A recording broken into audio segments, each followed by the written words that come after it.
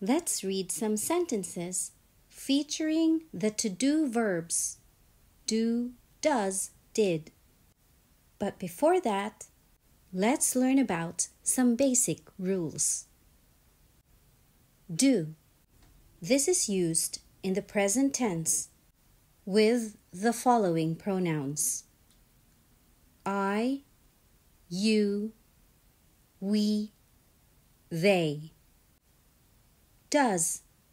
Does is also used in the present tense with the following pronouns he, she, it. Did. Did is used in the past tense. Now let's read some examples. Do. I do like this cake. Do you want a slice of cake? I do study after school.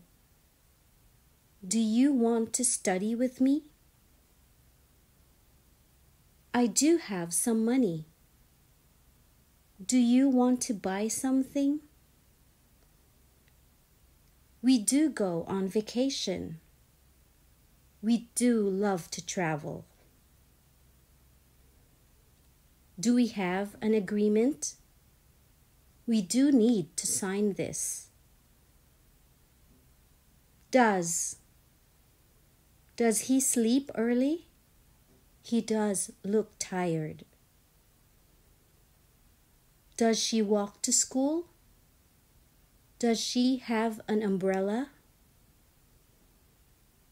Does he live here? He does like the neighborhood. Does it matter? It does matter. Does it look nice? Yes, it does. Did. Did you clean the sink? Did you wash the dishes? Did you hear me? Did you forget? Did you go to the mall? Did you buy a shirt? Did you walk the dog?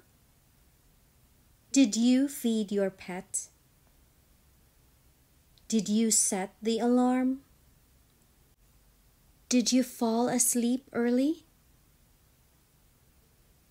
That's it. Great job. Keep learning.